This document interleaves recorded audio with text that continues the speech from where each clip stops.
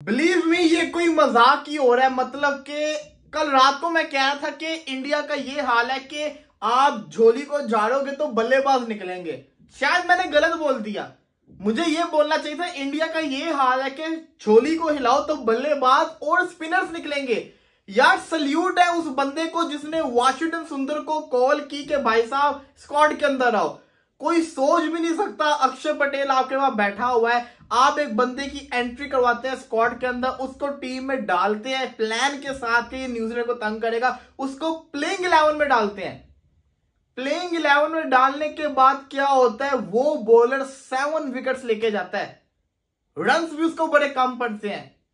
पूरी की पूरी न्यूजीलैंड की टीम को उसने उखाड़ के रख दिया। पहली तीन विकेट्स अश्विन के नाम, अगली सात विकेट्स कम टाइम के अंदर उसने ले ली। वाशिंगटन सुंदर ने जो परफॉर्मेंस करके दिखाई है ना सल्यूट और जिसने बंदे ने इसको टीम में लेकर आया, उसको सल्यूट है। ये रोहित शर्मा की तो सोचनी होगी। ये डेफिनेटली मैं समझता हूँ कि गौतम गंभीर की सोच होगी। देखिए अक्षर पटेल जैसा प्लेयर आपके पास हो आपने उसको बिठाया हुआ है। Right down Washington Sundar off off break bowler को लेकर आए आप और उसने क्या शानदार बॉलिंग की, लेकिन सोने पे सुहागा, उसने सारे राइट हैंड बल्लेबाजों को आउट किया। सिवाय रचन रविंद्रा के। तो ये गुड चीज़ थी। और एक मिचल सेंटर के भी। शानदार बॉलिंग करके दिखाई। दूसरी तरफ़ आप देखिए कि क्रिकेट क्या हो रही है। एक तरफ़ इंडिया ने न्यूजीलैंड को तीसरे सेशन के अंदर 259 पे आउट किया। दूसरी तरफ़ पाकिस्तान ने इंग्लैंड को तीसरे सेशन के अंदर 264 पे आउट किया। सवाल ये आता है, किसने अच्छी परफॉर्मेंस करके दिखाई? जवाब ये इंडिया ने। इसकी रीजन क्या है वो भी सुनिएगा। भारत के खिलाफ डेविन कॉनवे और रचिन रविंद्रा का अटैक चल रहा था डोमिनेट कर रहे थे। उसके बाद भारत ने विकेट लेता गया लेता गया, रुका नहीं। पाकिस्तान ने डोमिनेट किया इंग्लैंड को स्टार्टिंग से। पाकिस्तान ने 118 पे इनके छह आउट किए, उसके बाद पार्टनरशिप लगवा के स्कोर इतना करवा लिया। स्कोर दोनों का सेम है। लेकिन कहने का मकसद है कि पाकिस्तान इससे पहले इनको रोक सकती थी, जो नहीं कर पाई। तो यहाँ पे मैं समझता हूँ कि पाकिस्तान यहाँ पे लैग किया, लेकिन साजिद खान, एक तरफ़ वाशिंगटन सुंदर सेवन विकेट एक तरफ़ साजिद खान, छह विकेट और ये बंदे ने साल क्रिकेट नहीं खेली। टीम में लेकर आया तो रुकने का नाम नहीं ले रहे। तो इंप्रेसिव परफॉर्मेंस ही बल्लेबाजी के ऊपर इनकी बाद में बात होगी। बल्लेबाजी जो उन्होंने की है इंडिया के बल्लेबाजों ने और पाकिस्तान के बल्लेबाजों ने, इसके ऊपर बाद में बात होगी। लेकिन जो इन्होंने बॉलिंग करके दिखाई है ना, मज़ा आ गया यार। मतलब कि पैसा वसूल बॉलिंग करके दिखाई है। और वाशिंगटन सुंदर ने बहुत ज़्यादा इंप्रेस किया।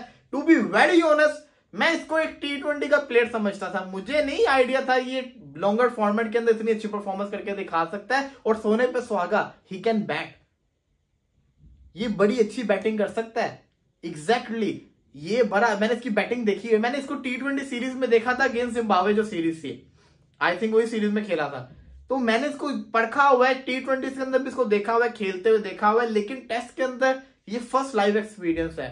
और इसमें स्टेमिना है। ये टेस्ट का बॉलर बन सकता है। यार, आप देखो कि अश्विन और किसने कैसी बॉलिंग की है? जडेजा को एक विकेट नहीं मिली। शॉकिंग था जडेजा के लिए। जडेजा के होते हुए उसको विकेट ना मिले, ये बड़ा शॉकिंग होता है। लेकिन राइट आर्म जिसको कहते हैं ना स्पिनर्स ने विकेट निकाल ली। तो इंप्रेस किया बड़ा ज़्यादा। अब यहाँ से इस मैच के अंदर मैं ये समझता हूँ, पहले दिन टॉस हारने के बाद।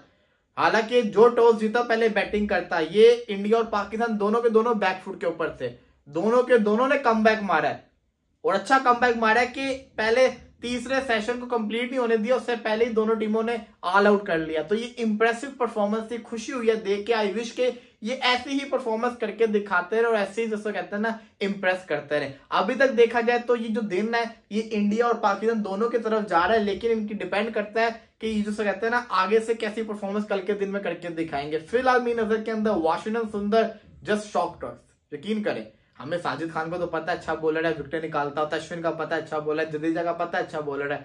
एक नए बॉलर का आना और ऐसे विकेट्स निकालना, ये इंप्रेसिव था। और वाशिंगटन सुंदर ने बड़ा ज़्यादा इंप्रेस करके दिखाया कि ये जो कहते हैं इस बॉलर में, दम तो है भाई साहब, दम तो है, इसमें कोई शक नहीं है, दम रखता है बॉलर तभी तो विकेट लेके गया दम ना होता तो फिर विकेट कहाँ लेता? और न्यूजीलैंड के ऊपर ये है कि मैं ये पहले भी कहा था Devon Conway Rachin Ravindra only two players इनको आउट करो फुड़क जाओ। इंग्लैंड की टीम में बैन डकिट और Joe Root only two players इनको आउट करो, गई है टीम यही होता है, लेकिन जेमी स्मिथ से रन खाना, ये मैं समझता हूँ जेमी स्मिथ ने जो छक्के इनको पहले है ना, ये मैं समझता हूँ पाकिस्तान ने ज़्यादा की है अपने फैंस के साथ। ये स्मिथ से छक्के खा लिए, उसने रख रख के मारा स्पिनर्स को। तो लेट्स ये देखते हैं, आगे जाके क्या होगा।